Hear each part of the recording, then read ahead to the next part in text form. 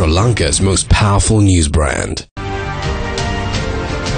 පැතිකඩ බන්දුර ජයසේකර සමඟ ඔබට සුබ දවසක් අද අපි පළමුවෙන්ම ශ්‍රී ලංකාවේ ඩේල් නිවුස් පුවත්පතට සුබ පතනවා ඩේල් නිවුස් පුවත්පතට අද අවුරුදු 100යි.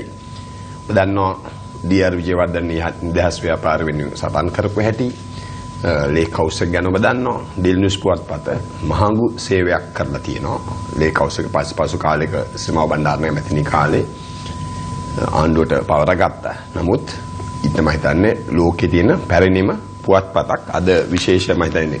තා වැදගත් විශේෂාංගයක් තියෙනවා ඩෙල් නිවුස් පුවත්පතේ. මම හිතන්නේ මේක අරගෙන අරගෙන තිබ්බත් හොඳයි මේක ගැන මටත් භාග්යක් ලැබුණ අවුරුදු දෙකක එහි කර්තෘත්වයේ දරන්න. නමුත් සෑහෙන සේවයක් කරන පිරිසක් ඉන්නවා. නමුත් අපේ මම හිතන්නේ කාගෙත් බලාපොරොත්තුව මේ රජයකට නැතුව ස්වාධීනව ආපහු නැවතත් මම හිතන්නේ අයිතිකාරයන්ටම පරණ අයිතිකාරයන්ටම බාර දුන්නා නම් හොඳයි.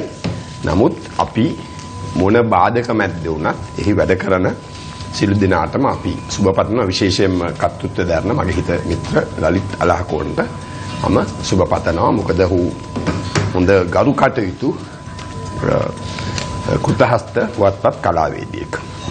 අද අපි කතා අපි එක සම්බන්ධ වෙලා තියෙනවා එස්.එච්. කුමාරසිංහ. කුමාරසිංහ මහත්මයා රාජකීය විද්‍යාලයේ 94 සහ 98 හිටපු විදුහල්පති. ඒ වගේම ඔහු අවුරුදු 32ක 32ක් එක එක පාසල් වල විදුහල්පති වෙලා හැටියට සේවය කරලා තියෙනවා. සර් අපි සර්ගෙන් අපි පටන් ගන්න ඕන. දැන් මොකක්ද? අද අද වර්තමාන අධ්‍යාපන තත්ත්වය ගැන සර් මොකද කොහොමද දකින්නේ? අධ්‍යාපන තත්ත්වය අද විශාල අරුත් පිම්මකට උත්සාහ කරනවා. මොකද පෞද්ගල කාර්ය අපි දැක්කා. අධ්‍යාපනය සම්පූර්ණම මේ විභාග කේන්ද්‍ර අධ්‍යාපනයක් වුණා. ළමයින්ට විශාල පීඩනයක්. මානසික පීඩනයක් වුණා. විභාග මූලික නැත්නම් අරමුණු කරගෙන අධ්‍යාපන ක්‍රමයක් තමයි අපේ තියෙන්නේ. තිබුණේ මෙතෙක්කත් එක දවසේ පටන් අරගෙන උසස් පෙළ දක්වා. කඩියම් දෙකක් තියෙන ශිෂ්‍යත්ව සහ සාමාන්‍ය පෙළ ඊළඟට සාමාන්‍ය පෙළෙන් පස්සේ ගොඩක් ශිෂ්‍යෝ නිකන් අතරමං වුණා සමාජයට පැටිලා. කියනෝනේ ත්‍රිවිධ ඩ්‍රයිවර්ලා වුණාන්නේ කියලා. ඒ තත්ත්වෙන් දැන් මිදෙන්න අපි මේ අවස්ථාව උත්සාහ ගන්නවා උසස් පෙළ විෂය මාලාව වෙනස් කරලා. සර් දැන් මොකද්ද අද ගල් ඇල්ල ගල් කූර නැහැනේ. මොකද්ද කුඩා ළමයින්ට වෙලා තියෙන්නේ. ඒ තත්ත්වය වෙනස් මොකද ඒක ඒක ඒක ඒක මම කියන්නේ ඒක සුන්දර කාලයක්. ඔව් ඒ ඒ එහෙම මතක් කරාම අපිට මතක් කරන ගල්ලැල්ලයි වැලිලැල්ලයි. අපි අකුරු ලිව්වම අද ඊට වඩා තාක්ෂණ දියුණුවත් එක්ක වැඩිලා තියෙනවා. නමුත් සමහර කනගාටු සමහර සාමාන්‍ය පිළිභාගයට ගියාම සමහර ළමයි හරියට අකුරු ලියන්න දන්නේ නැති තත්ත්වෙකුත් සමහර පාසල් වල තියෙනවා. නමුත් දැන් ඇයි ඒව ඇයිව නැති වෙලා තියෙන අපි තාක්ෂණය කියලා මේ සීල දෙනම් සුළු දෙම වැළඳ ගන්න අවස්ථාවක් නැහැනේ. ඒ කියන්නේ කුඩා කාලේ මම හිතන්නේ සමහර විට අර මොන්ටිසෝරි ඒ සුන්දර පාසල් ළමා කාලේ මම හිතන්නේ විනාශ කළා. ඒව විනාශ කරන්නේ මේ අධ්‍යාපනය සම්බන්ධයි. වැඩි හිටියේ උන්ට අමතක වෙන උන්ටත් ළමා කාලයක් තිබ්බා කියලා. ඔබත් මමත් මොන්ටිසෝරි ගියේ නෑනේ. ඔය මෙතෙන්ට එන්න. මොන්ටිසෝරි ළඟට මේ පෙර පාසල් අධ්‍යයනය කරන එක්තරා විදිහේ ළමා මනස විකෘති කරන වැඩ පිළිලක් මම හිතන්නේ. මොකද uh, එකක් තමයි පාසල් යන පහවසකට අවුරුදු පහක් වෙනකොට පාසල් යන ඕන ළමයාට ඊට ඉස්සෙල්ලා පාසල් උගන්වන දේවල් උගන්වනවා.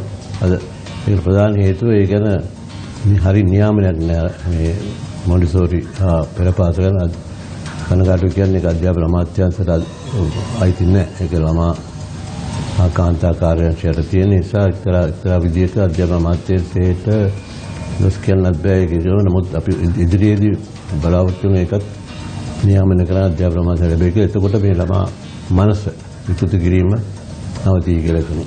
නෑ දැන් බොහොම වැදගත් දෙයක් කිව්වේ දැන් ඒ කියන්නේ මේ මොන්ටිසෝරි අවශ්‍යතාවයක් නැහැ කියලාද කියන්නේ? අවශ්‍යතාවක් තියෙනවා නමුත් එතෙන් උගන්වන්නේ මොනවද කියන එක ළමයින්ට අකුරු ගන්නන්නේ මොන්ටිසෝරි තියෙන ළමයින්ගේ පිළිවෙත් යම් යම් ක්‍රීඩා කෞශල්‍යතා කුසලතා වර්ධනය මිසක් අකුරු ඉගැන්වීම පොතේ තියෙන දේවල් ඉගැන්වීම නෙමෙයි කනගාටුවට දෙමාපිය බලාපොරොත්තු වෙන එකනේ. ඒතකොට ඒ කියන්නේ ළමෙක් පාසලකට යවද්දී වයස අවුරුදු 5යි. පහෙන්. ඊට ඒ කියන්නේ මේ පෙර පාසල් වලින් වැඩක් නැහැ පෙර කියලා. පාසල්ෙන් දැන් තියෙන දේ වැඩ නැහැ කියලා මට හිතෙනවා මොකද ඒක මේ ළමයි හරියට අවශ්‍ය නියාමනය කළා ළමයිව නියම මගට මෙහෙම මම මේක විතම වැදගත් දෙයක් මේ මේ විදුහල්පතිතුමා කිව්වේ. මොකද දැන් මම හිතන්නේ මේක විතර තක මේ කවුරුත් මේක කියලා නැහැ විවෘතව. දැන් පෙර පාසල් මොන්ටිසෝරි වැඩක් නැහැ. නමුත් මං කිව්වේ කියන්නේ අපි ඔබයි මායි මෙතෙන්ට ආවේ පෙර පාසල් ගිහිල්ලා නෙවෙයිනේ නෑ නෑ නමුත් දැන් මෙහෙම මෙහෙම තත්ත්වයක් තියෙනවා දැන් උතන සමහරට මෙතන දැන් පෙර පාසල් තියෙනවා. දැන් දෙමව්පියොත් සමහරට උතනට යවන්නේ උන්ට මේ රාජකාරී. දැන් ඒක ඒක වැරදි. ඒක ඒක වැරදි නෑ. නමුත් මම එක්තරා අවස්ථාවක යෝජනා කළා අමාත්‍යාංශයට අම්මා ඒ ඒ ඒ අමාත්‍යාංශයට ඒ ඒ ආයතනවල ළමයින්ට පෙර පාසල් තියන්න. ඒතකොට දෙමව්පියන්ට අර ළමයා එතනට එක ගිහිල්ලා අපව මෙහාට එක්- එක්කෙන්න පෙර පාසල් දාලා ඒ ප්‍රශ්නේ මිදෙනවා ළමා දෙමව්පියන්ගේ මනස එක්තරා ප්‍රමාණයකට නිදහස් වෙනවා ළමයා ගැන හිතන්නේ නැතුව කාර්- කාර්යය තමන් වැඩ කොටස කරන්න. ඒතකොට උදාහරණයක් අධ්‍යාපන අමාත්‍යාංශවල දැන්ටත් මම හිතන්නේ තියෙන පෙර පාසලක්. අනේ වගේ වැඩසටහනක් වුණොත් වඩා හොඳයි වඩා ළමයි දෙමාපියන්ගේ අධිශනත් එතන තියෙනවා රාජ්‍ය අධිශනත් ඇති වෙනවා එතන. කියන්නේ මේ එතකොට කියන්නේ ඔබ කියන්නේ මේ ප්‍ර- ප්‍රමිතියක් නැහැ. කියලා නැවත ඕන එක්කෙනෙක් පෙර පාසල් දාන. ඔබ සම- සමහර විට වෙන වැඩක් කරලා දෙයක් නැත්නම් රිටයර් වෙනන් පස්සේ නැත්නම් ඔයගොල්ලෝ පාස් කරලා ගෙදර ඉන්නවා නම් පෙර පාසලක් දා මේ දැන් එහෙමනම් දැන් මෙහෙම දැන් දැන් ඔය මරියා මොන්ටිසෝරි. මේක එහෙනම් ඒ කියන්නේ මොන්ටිසෝරි වැඩක් නැහැ කියලාද සර් කියන්නේ? නෑ වැඩක් නැහැ ඒ කියන්නේ. කියන්නේ එහෙනම් දැන් මේක මේ ජාත්‍යන්තර පිළිගත් දෙයක් නේ. දැන් මරියා මොන්ටිසෝරිට ලොකු පිළිගැනීමක් තිබ්බනේ ලෝකේ. ඒතර එහෙම නෙවෙයි මේ මොන්ටිසෝරි ක්‍රමය ආවේ. ඔව්. මොකද මම සමහරට මේ මේ සටහන් කියලා තියෙනවා ළමයින්ගේ මනස ගැන එහෙම වටහා ගත යුතු කොහොමද කියලා මරියා මොන්ටිසෝරි. කියන්නේ ඔබ කියන්නේ ඒක වැඩක්. නෑ ඒකට අපි ඒ පෙර පාසල් කරන ගුරුවරු නියම විදිහට පුහුණු කරලා ගන්න ඕනේ. ඒකයි කරන්න ඕනේ. මොන්ටිසෝරි ක්‍රමය අනුව. ඉතින් ඒකට බැයිද අධ්‍යාපන අමාත්‍යාංශ මොකද්ද කරන්නේ? අමාත්‍යාංශය දැනට ඒකට අයිතියක් නැහැ. එතන කියනවා. අමාත්‍යාංශය යටතේ ඉන්නේ නැහැ පිළිපාසල්. ඒක තියෙන්නේ ළමා කාන්ත කාර්යාංශය. නමුත් ඒ ළමාසා කාන්තයාකාරංශයස පටන් ගත්ත මේ පසු කාලෙක. නමුත් එතකන් දැන් කියන අවුරුදු ගාණක් තිස්සේ මේ මොන්ටිසෝරි තියෙනවනේ. තිබුණා අ, මගේ දැනුම අනුව අධ්‍යාපන අමාත්‍යාංශය යටතට ආවේ නැහැ විෂය. ඒ වුණාට මෙතන ප්‍රශ්නයක් තියෙනවනේ එහෙමනම් මූලික අඩිතාලමක් ළමයෙක්ට අද ලැබෙන්නේ නැහනේ. එතන ලොකු ප්‍රශ්නයක් තියෙනවනේ මේ ළමයාගේ වැඩිම ගැන ඊට පස්සේ මනස දියුණු වීම ගැන ඔතන නේ පටන් ආරම්භේ. මොකද්ද සර් උතන? ඒකට ඉතින් අර මං කිව්වේ නියාමනය කරන්න ඕනේ කියලා. දැන් උදේ කියන්නේ එහෙමනම් මම කියන හැටියට මේ රටේ ලොකු ප්‍රශ්නයක් තියෙනවා. අපේ රටේ. ප්‍රශ්නය අත්‍යවශ්‍යම අධ්‍යාපන අමාත්‍යාංශයේ ඒකත් ඒ අමාත්‍යාංශය යටතේ ගත යුතුයි කියන එක මගේ අදහස. නමුත් කියන්නේ ඒ කියන්නේ මෙච්චර මෙච්චර පමණ කල් අධ්‍යාපන අමාත්‍යාංශ මේ තිබ්බට කිසිම දෙයක් වෙලා නැහැ. නෑ ඒ පෙර මේ පාසල් මේ සම් සම්බන්ධ- පෙර පාසල් මොකද මම හිතන්නේ යම් කිසි මොකද රජයට අයිතියක් තියෙනවනේ. ඒක තමයි ඒක ප්‍රතිපත්තිමය තීරණයක් ගන්න වෙනවා රජේ. දැන් දැන් ඔබ දකින්නේ දැන් මට තව ප්‍රශ්නයක් තියෙනවා මම හිතනවා අනිත් අය මේක බලන්නේ. මම දැකලා තියෙනවා ඔබ දැකලා තියෙනවා ගම් වලින් ආවා ඔබ අවුරුදු 32ක විදුහල්පතිවරයෙක් ඇට සේවය කරලා තියෙනවා. දැන් මේ ගම් ඈත ගම්වල ඛණ්ඩ නැහැ. බොණ්ඩ නැහැ. මේ මේ ප්ලේන් ටිබීලා තමයි ළමයි පාසල් යන්නේ මේ සමහර පැය දෙක තුන ඇවිදිනවා. එතකොට නමුත් සෙරප්පු නැතුව නමුත් අර ටයි එකක් විතරක් දාගෙන යනවා. මොකද්ද අපි මේ කරන්නේ? සමහර විට කියන්නේ කනගාටුයි හරියට මේ පැලැස්තර කියන්නේ පැච් දාලා කලිසම් අඳිනවා. මොකද ටයි එක තියෙන මොකද්ද මේ ස- තියෙන මේ මානසිකත්වේ?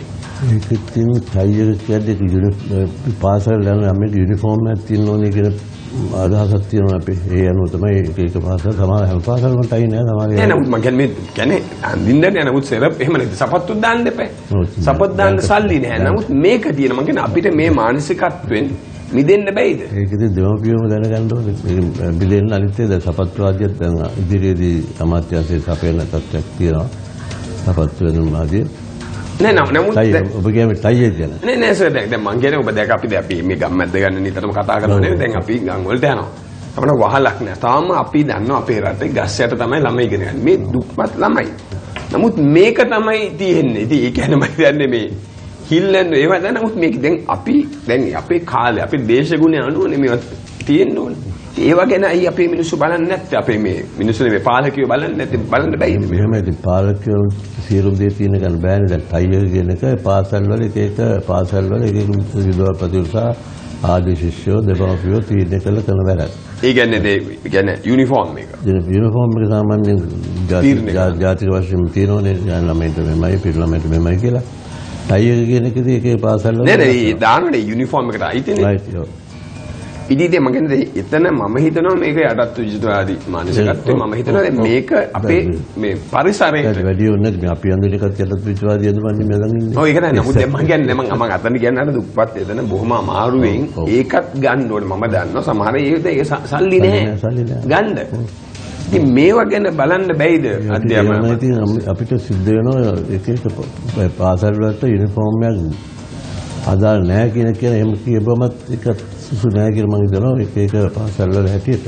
සමහර පාසල් වල විශේෂයෙන් ආදි කාන්තා පාසල් වල තමයි ටයි එක නෑ කොලර් එක විතරයි තියෙන්නේ.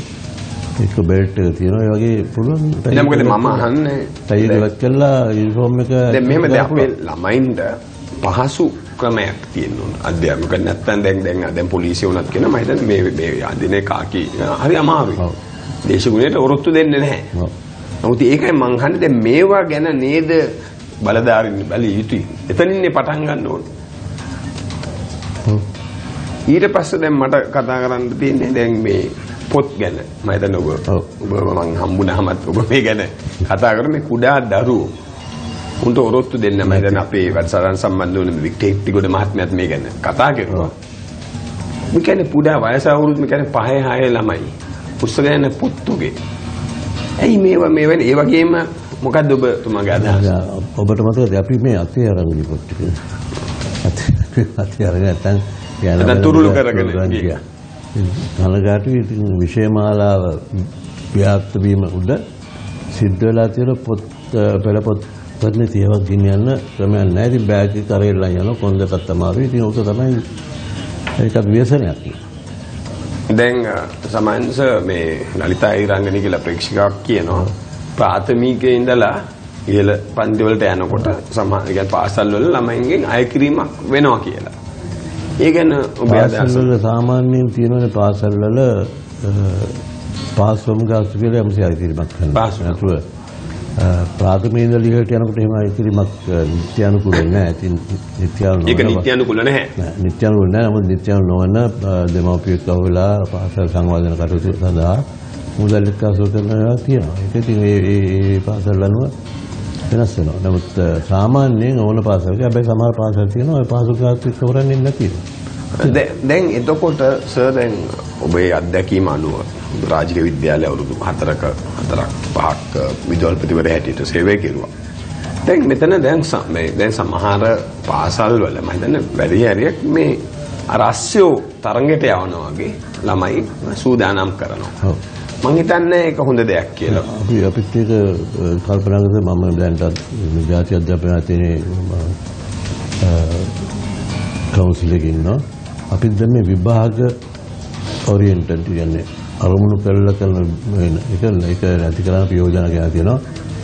ඒත් පහ ශිෂ්‍යත්ව ගන්නත් අපි දැන්ට කල්පනා කරගෙන යනවා ඒක නැති කරොත් හොඳයි කියලා. ඒක පිස්සුවක් වෙලා තියෙනවා ශිෂ්‍යත්වයට. කියන්නේ මෙහෙමනේ දැන් මේ මේක මම ඔබතුමාට මේ මේටි කියන ඉතිහාසයක් තමයි මම මේ ඉස්කෝලේ ගිහලා ආවේ මේ හැබැයි ඉගෙන ගත්ත විශ්වවිද්‍යාලය කොළඹ මේ විරගටිය සෙන්ටර් එකේ ඉස්සර හම්බන්තොට දිස්ත්‍රික්කේ ශිෂ්‍යත්ව විභාග පාස් වෙන ළමයි ගියේ ඒ ඒ ඒ සෙන්ටර් එකට නැත්තම් ඒ ඒ දිස්ත්‍රික්ක ප්‍රධාන දැන් මේ මේ ප්‍රශ්න ආවේ මේ මේ ළමයි දැන් ජාතික මට්ටමේ මේ විභාගයෙන් මේ ප්‍රෙස්ටිජියස් කියලා ඉස්කෝල තියෙන රාජ්‍ය විද්‍යාලය ඇතුළු ඇත්ත ප්‍රෙස්ටිජියස් තමයි.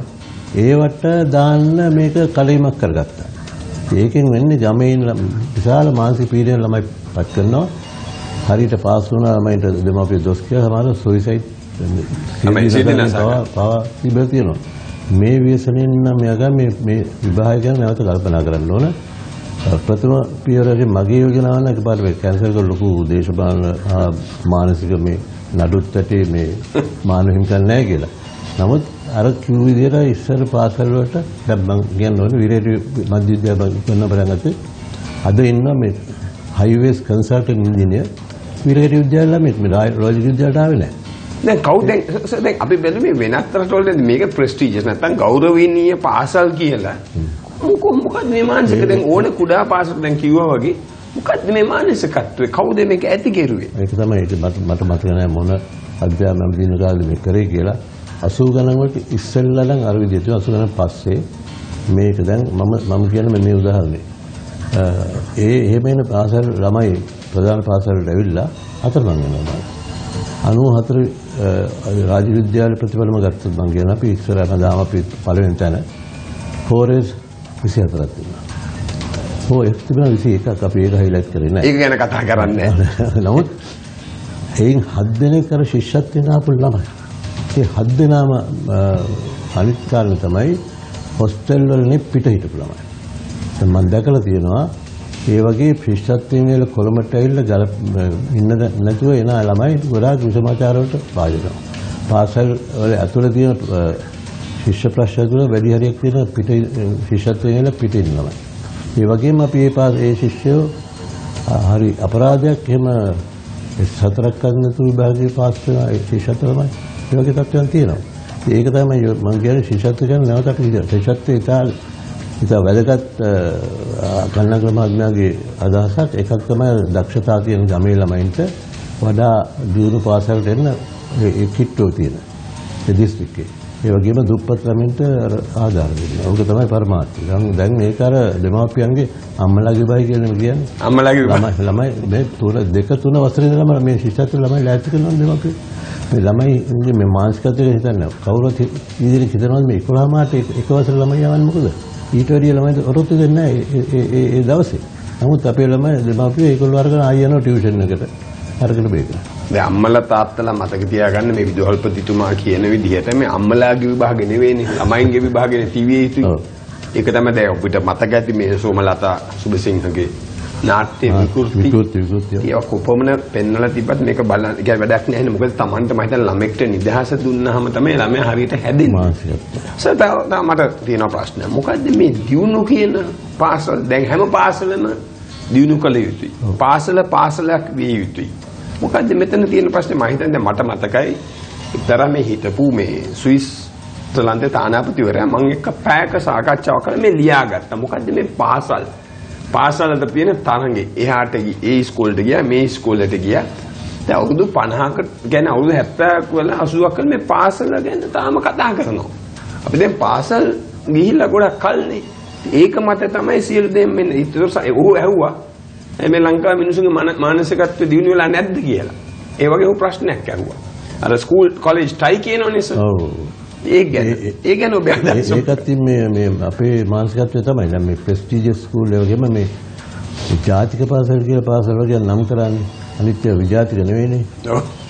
නමුත් ඒ ඒ- ඒ නමත් අයින් කළා ඇත්තටම ඉතින් සමහර පාසල් අන්තර වඩා දියුණු ඒකේ දෙමාපියන්ගේ ඒ ආශිෂ්‍යන්ගේ මේ අනුව. නමුත් ඒන් අදහස දැනට මේ වැඩ පිළිලක් තියෙනවා අපේ ළඟම පාසල් හොඳ පාසල් කරන්නේ. ළඟම පාසල හොඳම පාසල. ඒ ඒ අනුව පාසල් විශේෂ දැනට අද මාමත්‍යංශය අමතුමාගේ මේ මේ දර්ශනයක් අනුව විශේෂයෙන් බෞද්ධ සම්පත් දියුණු කරනවා. ඒවනේ අලු දැන් මං හිටියේ ඉස්කෝලේ පළවෙනිම හිටියේ නාගුම ඉස්කෝලේ ඇත්තම යනකොට පොල්ලත් ගොඩනැගිල්ලකුත් තිබුණා. ඉතින් ඒව ක්‍රමයෙන් දියුණු කරලා දැන් ඒවට ප්‍රධාන පාසල් වලට වෙලා තියෙනවා. ඒ වගේ වැසිකිලි ජලය සපයලා ඒවා ළමයින්ට හොඳ පරිසරයක් ඇති කරන්නයි ඕන පාසලක ඊළඟට අර මං කිව්වා වගේ ශිෂ්‍යත්ව ළමයි කොළඹට ගියන් නැත්නම් ඒවයි ප්‍රතිඵල හොඳ වෙනවනේ. ඒ පාසල් පාසල්. ඒතකොට දැන් වෙලා තියෙන ඒවයි තියෙන හොඳම ළමයි ටික අපි ප්‍රධාන පාසල් ගත්තම අරවයි ඉල්ලුමක් නැහැ. ඊළඟට තව දෙයක් තමයි දැන් මේ මේ පාසල් සේවය තියෙනවනේ. ඒකත් එක හේතුවක් මේ ළමයි ඇදිලා යනවා ගමේ පාසල. දැන් මම හිටු නාගොම ඉස්කෝලේට අල්ලපු ඉස්කෝලේ කුඩාවැල්ලේ මේ ජීවර ගම්මානේ තට්ටු තුනේද දෙකේ ගොඩනැගිලි හතරක් දුකෙත් තියෙනවා ළමයි 110 ඉන්නේ. අර ළමයි ටික ඇදලා යනවා නාගොම මහවිද්‍යාලයටයි සංගල්ල දික්වැල් වගේ ප්‍රධාන පාසල. මේකත් එක්ක ඒක තමයි මේ අ, අලුත් වැඩසටහන ළඟම පාස හොඳම පාසල් කියන වැඩසටහන මම හිතනවා ඉදිරියේ දැන් ප්‍රයත්න වෙනවා. ඔය තත්ත්ව නැති කරන්න හේතු වෙයි කියලා මම හිතනවා. මේ ප්‍රෙස්ටිජියස් ස්කූල් කියන ප්‍රෙස්ටිජ් කියක් තිබුණ කමක් නැහැ. ඒත් රාජ්‍ය විද්‍යාලය, ආනන්ද විද්‍යාලය, විසාකා ඒවා තියෙන්න ඕන. නමුත් එයින් අදහස් කරන්නේ ගමේ හැම ළමයම මෙතෙන්ට එන්න ඕනේ කියලා.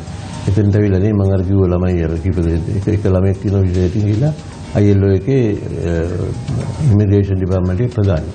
ළඟදී තව ගෑනු ළමයි රිටයර් වුණා චීෆ් ඉන්ජිනර් රේල්වේස්. ගමෙන් ආපු ළමයි ඉංග්‍රීසි අදපු තිබුණේ නැහැ. ඉතින් ඇයි අපි මේ ළමයි ටික මේ විනාශ කරන්නේ මේ කොළඹ පාසලට ගියාම. දෙමව්පියන්ට මම කියන පණිවිඩය තමයි ළඟ පාසල. මේ ළමයි අවුරුදු 10 වයස. නමුත් නමුත් ඒ ළමයි ගෙදර හිටියන අම්මා නැත්නම් තාත්තා කවලා නෑ සමහරවිට මේ මොරටුවේ ප්‍රේක්ෂක කතා වයස මොරටුවේ පැත්තේ සමහරට කොරළවැල්ල පැත්තෙන් පහය වසරෙන් පස්සේ යනවලු දීවර කර්මාන්තයට. මේ පාසල අත්හැරලා දාලා. ඒක ඒ කියන්නේ ඇයි මේ වගේ තත්ත්වයක් වෙන්නේ? ඒක ඒකට පිළියම තමයි අර මං කිව්ව අර පාසල් දිනු කිරීම මොකද දැන් අර ඕලෙවල් වලට යන ඉස්සෙල්ලා තමයි හැරෙනවා.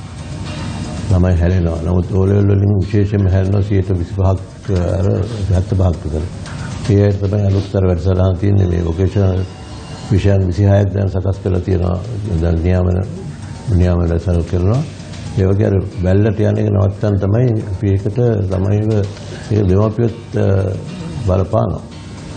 වැල්ලට ගියත් කමන්නේ පාසලේ හරියට දැනුම ලබාගෙන සාරධර්ම ලබාගෙන ගියොත් අර ඒ ඒ කාර්ය හරි හරියට කරනවා. දැන් දැන් අපි දැන් මට ප්‍රේක්ෂකයන්ට කියන්න දෙනවා මේ මට නම් ඔය මේ ලොකු පාසල් කියලා දෙක ඒ මානසිකත්වයෙන් අපි මිදෙන්න ඕන. මොකද මේ මානසිකත්වයෙන් මිදෙන්නාම දැන් මම කියන්නේ සමාජික රාජකීය විද්‍යාලය වෙන වෙන නම් තිබ්බට රාජකීය වෙන්නේ නැහැ. මම මේ කියන්නේ. මොකද පාසල පාසලක් මේ මානසික තත්ත්වය ඇති කෙරුවොත් තමයි මේ ප්‍රශ්නේ ඇති වෙන්නේ. මොකද මේ හැම පාසලෙම මේ එක එක අය ඉන්නවා. ඒ පාසල්ෙන් හොරු මි- බිහි වෙනවා මිනිමරු බිහි වෙනවා එක එක අය බිහි වෙනවා. නමුත් එහෙම කියලා අපේ ඉස්කෝලේ හොඳ එක එක පාසල් ඒ කියන්නේ පාසලට චෝදනා කරන්නත් බෑ. පාසල් සම්න්නත් බෑ. එහෙම තමයි සමාජ ක්‍රමය. ඉතින් එහෙම කරලා දැන් ඔබ කිව්වා වගේ රාජකීය විද්‍යාලයේ අර F හතර මේ 21 ගැන කතා කරුවේ නැහැ. නමුත් ඉතින් අර 21ක් F ඉතින් ඒ වගේ තත්ත්වයක් තමයි තියෙන්නේ. මම හිතනවා අපේ මානසිකත්වෙන් මිදෙන්න ඕනේ. ඒක මිදෙන්න ඕන අනිත් එක ඉතින් ඇත්ත වශයෙන්ම මේ අධ්‍යාපනයේ ප්‍රධාන වශයෙන්ම ගුරුවරයා මත තීරණය වෙන්නේ. ඉතින් ඒ- ඔය ඔය කියන தත්ත්වය තිබෙන්න අපේ ගුරුවරුන්ගේ මානසිකත්වය උන්ගේ වැටුප් ඇත හොඳ හොඳ වැටුපක් දෙනවා මීට වඩා ගුරුවරු මේ රැකියාව රැඳී සිටි. දැන් බැලුවොත් 70 70 ගාණක් පාසල් වල ඉන්නේ මේ මේ කාන්තාව. පිරිමි නැහැ. හේතුව පිරිමින්ට ඊට වඩා හොඳ රැකියාව හොයාගන්න වැටුප් තත්ත්වය වැඩි කරොත් ඕන කෙනෙක් ඒ ඒ විෂය රැඳී හිටියේ. දැන් මම ඔබතුමා එක්ක එකඟ වෙනවා. මොකද මම හිතන්නේ ගුරුවරුන්ට අපි ගුරු දෙවියෝ කියලා කියනවනේ. මම ඒ වගේම නිතරම කියලා තියෙනවා. මේ ඔබතුමා කියලා අපි ගරු කරන්න ඕනේ මේ ගුරුවරුන්ට. මේ කබල් දේශපාලඥයන්ට නෙවෙයි. ඒ වගේ මම හිතන්නේ මේ ඒ වගේ අයට නෙවෙයි ගුරුවරුන්ට. මම හිතන්නේ ගුරු දෙවියෝ කියනවා ඉතින් ඒකින්ද මම මම එකඟ වෙනවා ගුරුවරුන්ට හරියට පඩියක් දුන්නොත් පහසුකම් සැලසුවොත් මම හිතන්නේ රැඳී හිටියේ. එරණී හිටිනවා. ඒ වගේම වෙන ප්‍රශ්නයක් ඇති වෙන්නේ නැහැ. නමුත් සර් දැන් මේ ටියුෂන් ක්‍රමේ. හරි. ඒ ගැන ඔබ මගේ අදහස. ටියුෂන් ක්‍රමය ගැන කරද්දී අපේ අධ්‍යාපන ක්‍රමේ අසාර්ථකත්වය. අසාර්ථකත්වය තමයි ටියුෂන් වලට හේතු වෙන්නේ. ටියුෂන් සහ ජාත්‍යන්තර පාසල්. අපේ පාසල් පද්ධතිය හරියට තිබුණා අපි ටියුෂන් ගියේ නැහැනේ. ඒ හරියට තිබුණා නම් ඒකත් තියෙන උත්තර විදියට මේ ඒක අනිත් එක තමයි තරංකාරීත්වය වැඩි. අ, විශේෂයෙන් විශ්වවිද්‍යාලයට ඇතුළත් වීමේ ළමයි ප්‍රතිශතය 120ක නිසා ඉතා තරංකාරීත්වය නිසා ළමයි අකමැති වෙනවා. ටියුෂන් වල. අතට මගේ පුතත් ටියුෂන් ගිය හරිම අකමැති බැලමැල ගියේ. ඇයි මේ අපිට යන්න වෙලා තියෙන්නේ? මොකද ශිෂ්‍ය විශ්වවිද්‍යාලයට යන්න ඕන නිසා දෙමව්පිය කොහොමරි පිටත් කරනවා. විශාල පීඩන දෙමව්පියන් ආර්ථික වශයෙන්. මේක නැති කරන්න පාසල් පද්ධතිය අධ්‍යාපන මට්ටම අර ගුරු අභිප්‍රේරණය කළා මොටිවේට් කළා ඒක නගා හිටවන්න ඕනේ. ඒකට යන්නේ නැහැ. නමුත් දැන් මම දැන් තරමට මේ ජාත්‍යන්තරේ නම් මේ ටියුෂන් ක්‍රමයක් නැහැ. ඔව්. ගැඹි කිය යම් කිසි දෙයක දුර්වල නම් ඒ- ටිකක් වැඩිපුර උගන්වනවා. නමුත් මෙතන වෙන්නේ මේ පාසල් දෙකක් නේ. කියන්නේ දෙපාරක් ගෙවන්නත් වෙන්න වෙන්න ඕන පාසලේ දුර්වල ළමයින්ට තමයි ටියුෂන් දෙන්න ඕනේ. ඒක පාසලෙදිම සමහර කරනෝනේ. කරන්න කරන්න අපි මම උගන්නක මම ගුරු ප්‍රජා අවුරුදු දෙකයි හිටියේ කාලේ අපි හවස වරුවේ නැතිලා අර දුර්වල ළමයින්ට උගන්වන නොමිලේ. අත් වශයෙන්ම ගානක් ගෙවලා ගුරුවට හවස නවත්තගෙන වැඩ කරක් කමන්නේ වගේ වැඩ වැඩසටහන් ක්‍රියාත්මක කරන්න පුළුවන් අමාත්‍යංශයෙන්. හරි හොඳයි. පන්ති ගුරුවරුන්ටම දෙනවා ඒ ඒ ළමයින්ට උගන්වන්න. ඒකවල ගුරු ළමයි ගැන දන්න අරකම විශාල පන්තිවල මයික්ස් දාලා ගුරුවරයා පේන්නේ නැහැ බෝඩ් එක තියෙන්නේ. ඒක මම විකාරයක් ඒකද මම දැක්ක ළඟදී අර මිනුවංගොඩ පැත්තේ මේ විකාරයේ සරන් ඇඳලා මේ ටියුෂන් ගුරුවරු බොරුවට සරන් ඇඳලා එක එක දේවල් කරලා. කියන්නේ විකාරනේ මම හිතන්නේ මේවා ගැන මම හිතන්නේ ක්‍රියාත්මක වෙනවා. කියන්නේ ඒවා ඉතින් මේවා ව්‍යාපාර. බිස්නස් එකනේ ටියුෂන් ගුරුවරයාගෙන් අතර මම ටැක්ස් කරන්නේ නැහැනේ ටැක්ස් කරන්නේ ඉතින් අන්තිම ගුරුවරයා ළමයා උදේ ඉස්කෝලේ යනවා හවස ටියුෂන් යනවා සමහර විභාගයට එන්නේ නැහැ බාහිර ක්‍රියාකාරම් ලමයි ආයත් වෙලා තියෙන ටියුෂන් කියන්නේ මේ කිසිම ටියුෂන් මේ ටියුෂන් මේ කඩ කියනවනේ.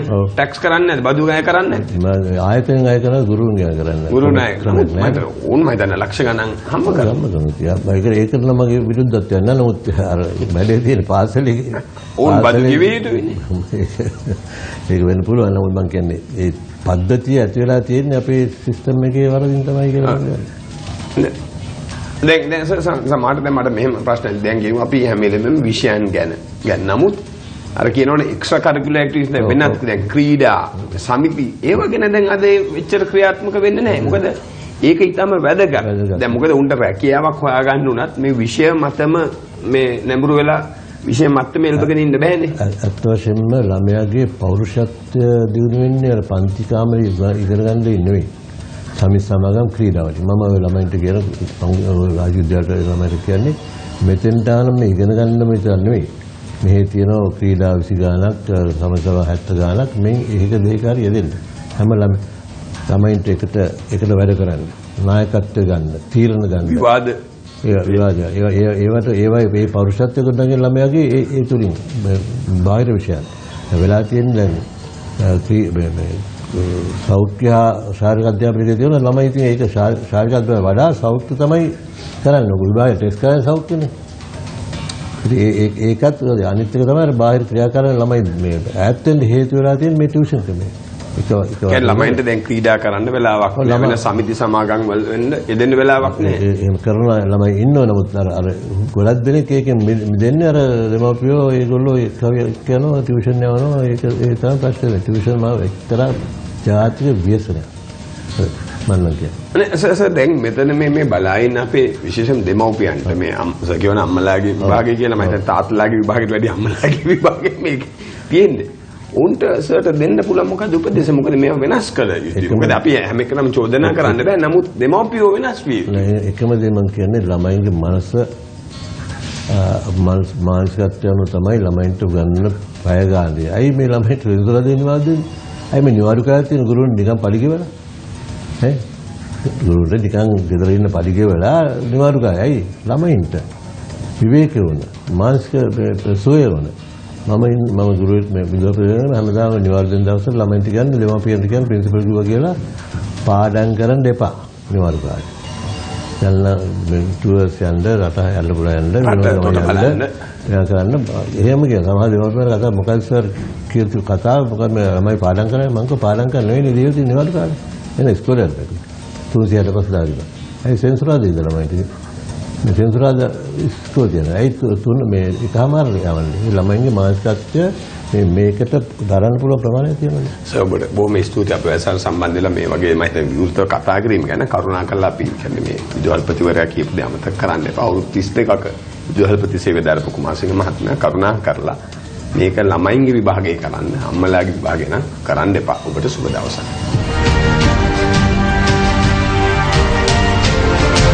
ඇතිකඩ බන්දුර ජයසේකර සමඟ